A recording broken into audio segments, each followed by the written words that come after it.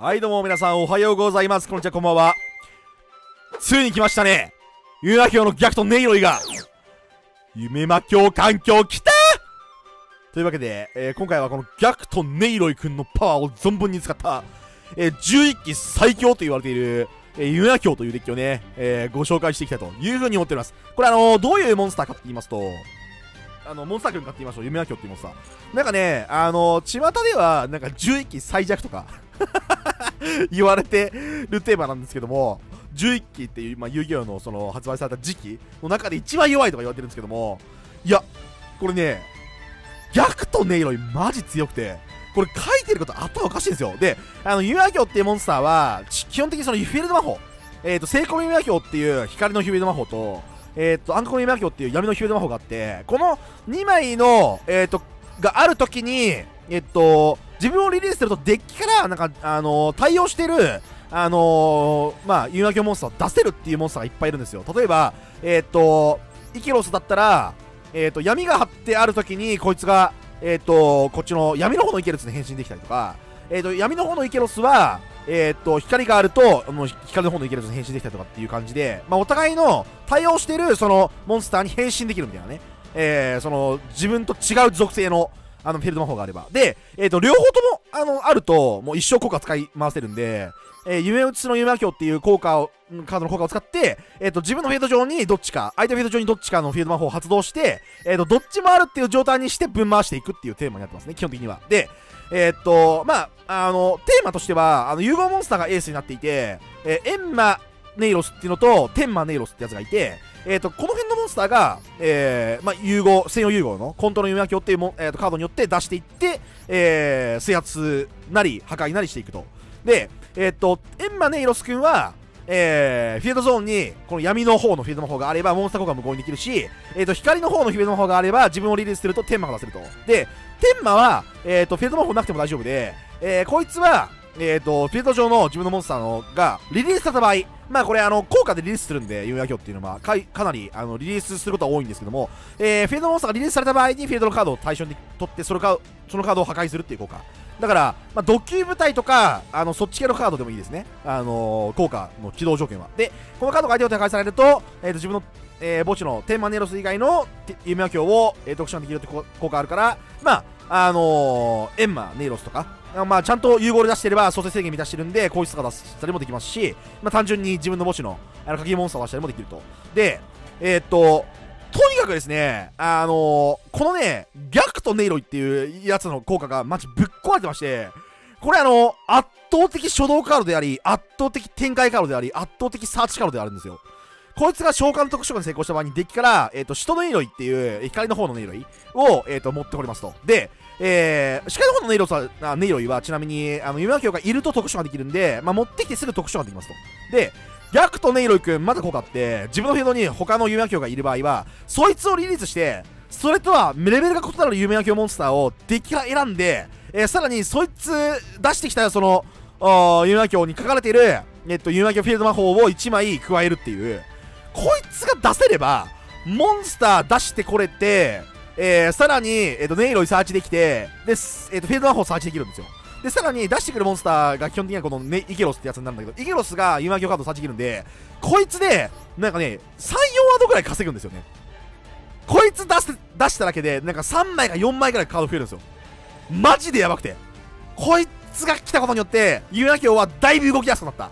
で、まあ、動かし方は見ていただければ分かるんですけども、まあ、先行であれば、えー、とこの逆とネイロイ絡めて、まあえー、クロシープ経由で融合モンスターとか、えー、とアポロウサえー、とか、まあ、マスカレーナあたりを立てて、まあ、妨害していく。で、高校であれば、あの、モンスター並ぶのめっちゃ簡単なんですね、夢魔教って。あの、逆とからの、あの、展開で、モンスター4体5体簡単に並ぶんで、えー、まあ、それを使って、まあ、リンクモンスターでワンキルしていったりとか、えー、まあ、融合モンスター立てて、えっ、ー、と、リリースして破壊していったりとかっていう動きをしていきます。一応ですね、先行するやつもちょっとできるし、高校ワンキルもできるんで、いいテーマではある。ただし、見ていただいたら分かるように、あのね、誘発入れてるわけじゃないんですよ。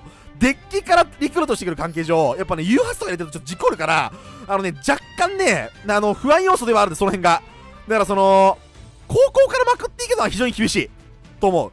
ただ、先行である程度動けた場合、なんかすごいことできるんで、まあこれちょっと対戦とかになってると思うんで、まあ見ていただければ、まあ、強さ伝わるかなと思うんで、えー、11期最弱と言われていましたが、逆とネイロイがあったらもう全然最弱じゃない。めっちゃ強いから、動きは。はい、やっていきましょう。いきましょう。デュエル、スタンバイ。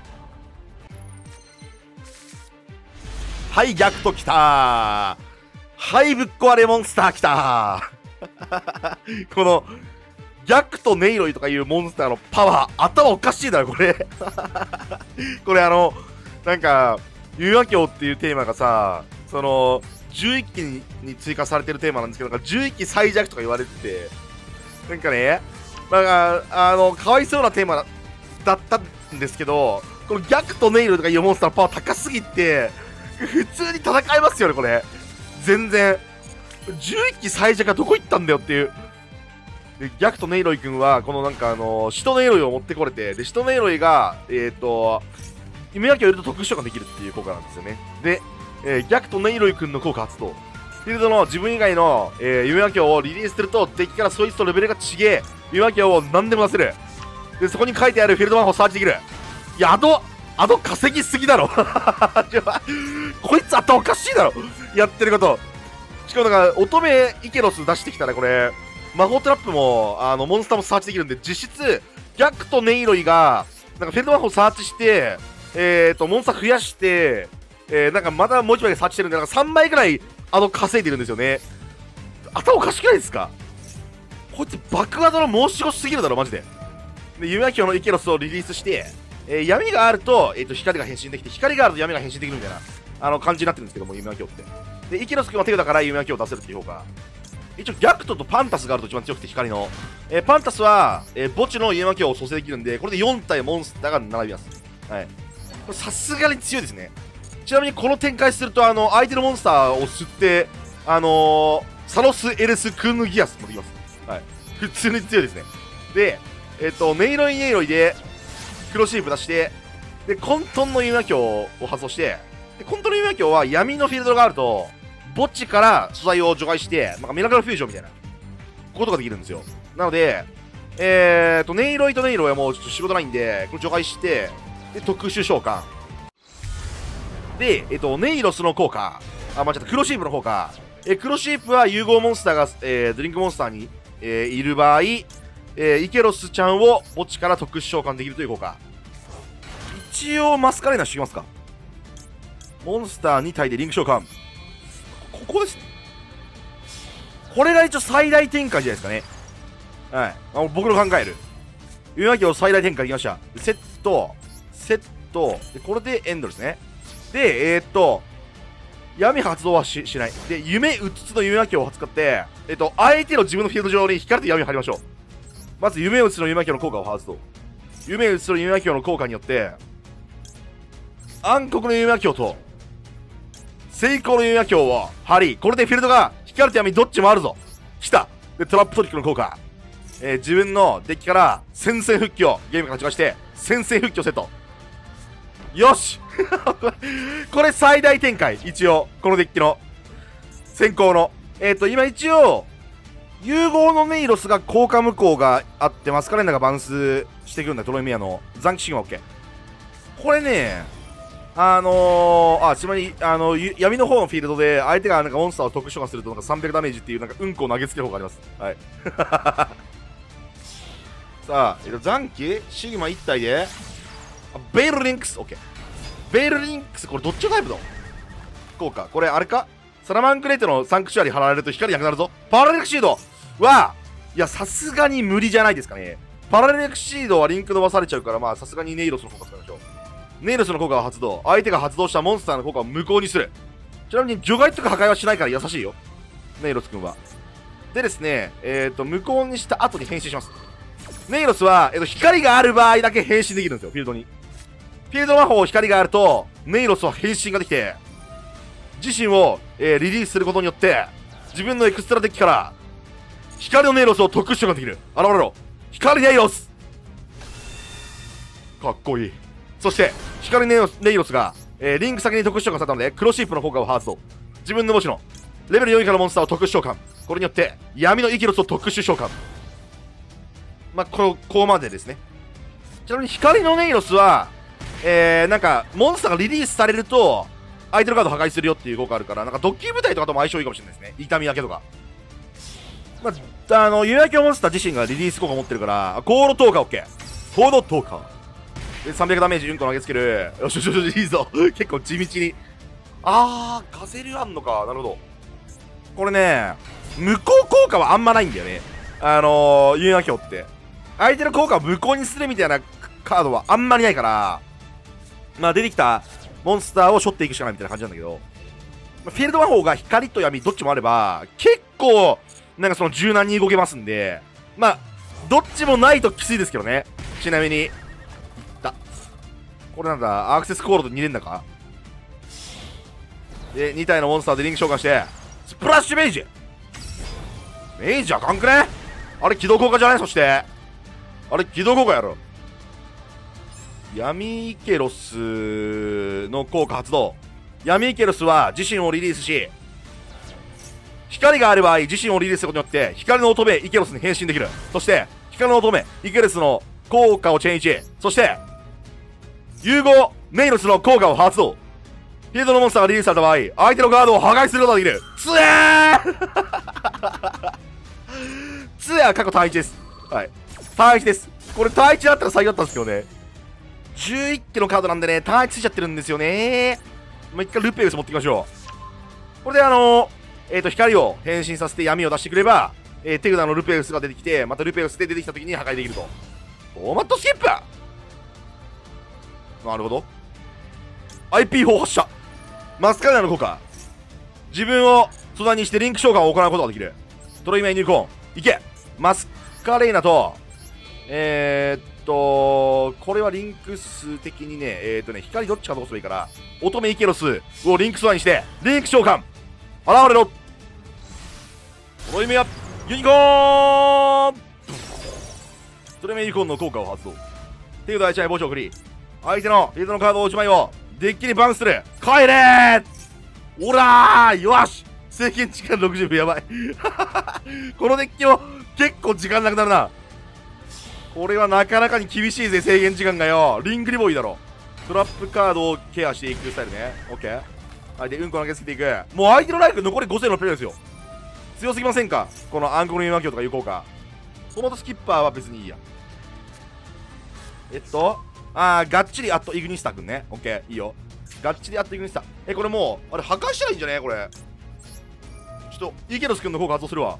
イケロス君の効果、自身を変身させて、闇を出してこれる。そして、闇のイケロスの特殊召喚成功時の効果を発動。っていうだから、ルペウスを特殊召喚できる。現れろ！ルペウス！そしてルペウスが弓巻の効果によって特殊が成功した場合効果発動！相手のカードを破壊！うおーつえ これいや強いだろやってること。おいめいめい強いだぞ相手。勝った！強すぎる！あまりに強い。あまりに強い。おい待ってくれよ。どんだけ強いこのデッキ。やばくねえか。11期最弱って言ってたの誰だよこれ。めっちゃ強いじゃん。このテーマ。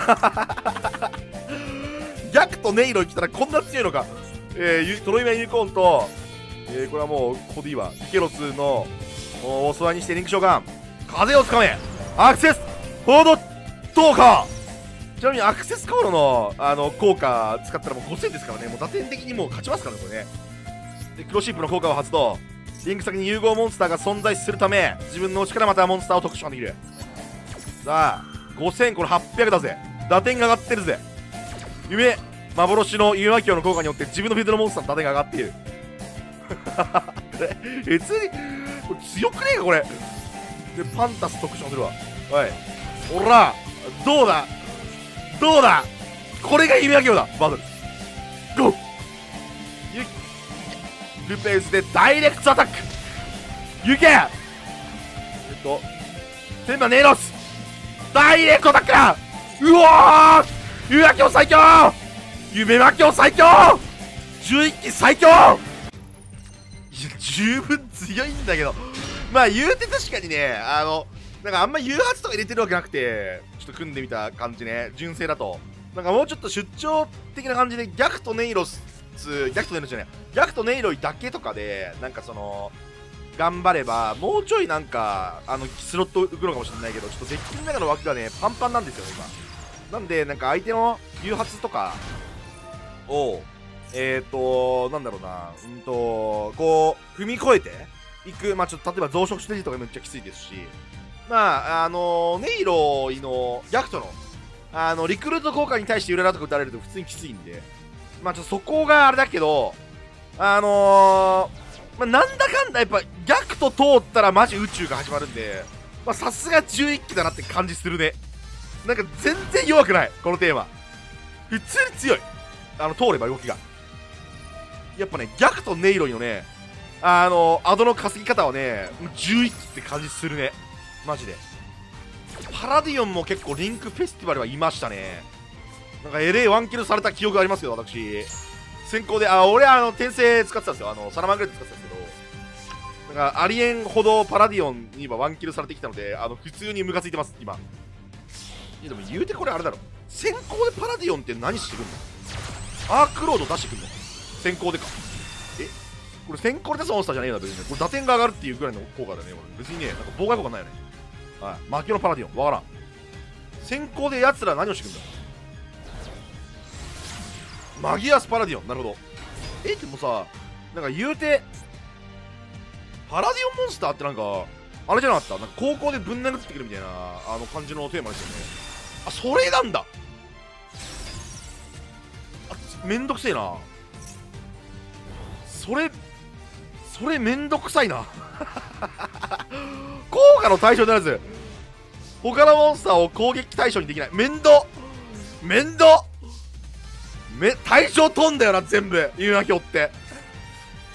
対象に取らないで破壊してくれるモンスターいないんだよね。逆とネイロイくん召喚するわとりあえず。逆とネイロイ召喚してえこれどうしたらいいんだ？アストラムはわからん。えー、っと戦闘したらダメ。対象には取れない。対象に取れないモンスターってこれユナキョはどうしたらいいんですか？とりあえずいつもの動きするわ。えー、っとネイロイをリリースからの、まあ、イケロスちゃんですね。で乙女イケロスで闇持ってきてでイケロスを特殊イケロスの効果を発動。夢明けモンスターの効果によって特殊召喚成功した場合自分の敵から夢明けカードを何でもサーチすることができる。これによって混沌の夢明けをサーチ。あこれ分かったぞ俺分かっちゃった可能性あるなこれ別にさあれだよね、あのー、リンクしたりできないとかないもんね。だから、ちょ、分かった。ちょ、あの、分かりました。皆さんにですね、今から、えー、対象に取れないモンスターへの対処方法、これをお見せしたいと思います。とりあえず、イケロスちゃん出して、で、イケロスの豪華。ここね、あの、この白パンタスが一番強いんですよ。この白パンタスなくても一応、あの、1体分減るだけなんですよ、素材が。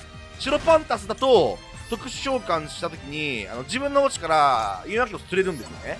だからまあこれで1回あの死んだルペウスとか特殊ができたりするんだけどこれを使うとなんかモンスターの数が増えるんでえっ、と1回黒シープ挟んだ方がリンク数伸びるかなえっととりあえずネイロイはギャクトとしては理由誤差になるのがまあ基本的な役割だと思うんで、まあ、ギャクトネイロイと、えー、シトネイロイでリンク召喚黒シープ。で、えっと、混沌発動。混沌の効果で、えーと、暗黒の岩鏡があるんで自分の墓地から融合作用を除外して融合召喚できるよっていう効果がありますんで。ここでえっとエンマ闇の方ですね。えー、ネイロイとネイロイを除外して融合召喚現れろ。ユナ教のエンマ。ネイロス。はいかっこいい。そしてクロシープの効果を発動。自分のリンク先に融合モンスターが特殊召喚に成功した場合自分の墓地のレベル4以下のモンスター1体を特殊召喚できる。現れろ乙女ちゃん。そしてアローヘッド確認。召喚条件は効果モンスター4体以上。うわー!リンク召喚サノスエレスクルヌキアスうわー最強 アストラム勝利。そしてアストラの効果はネイロスの効果で無効にする。つー。最強だ。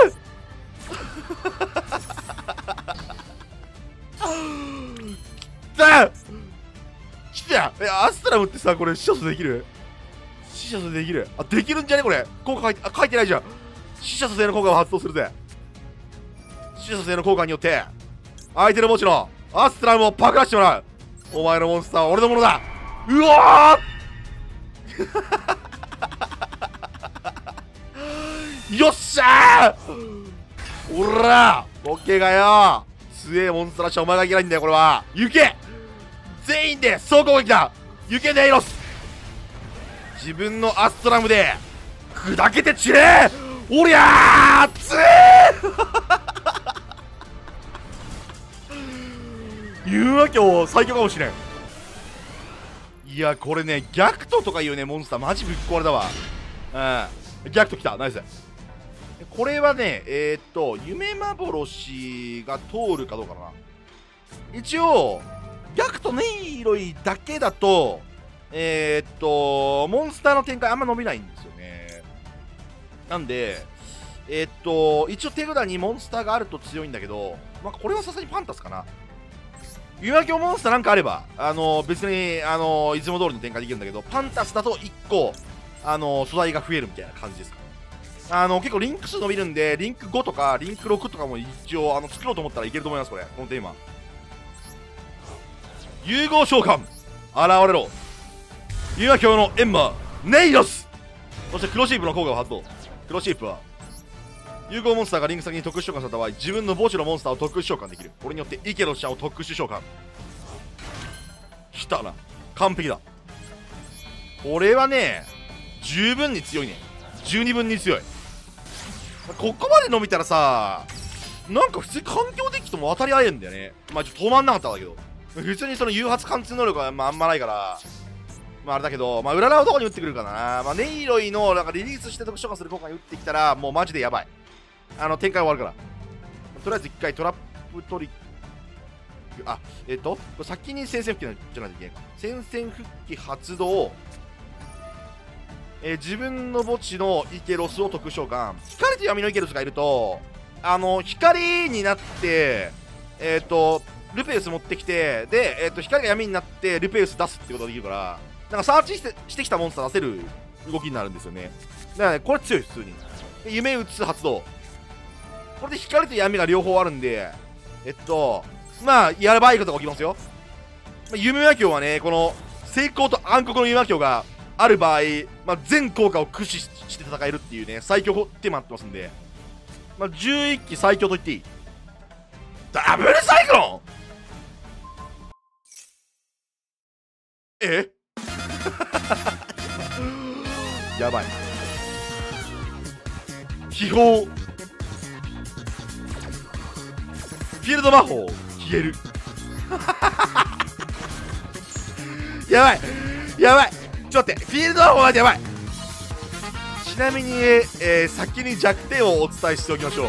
このテーマフィールド魔法がないと何もできません おいふざけんなよ。俺のえうわえーえー、わっキモ。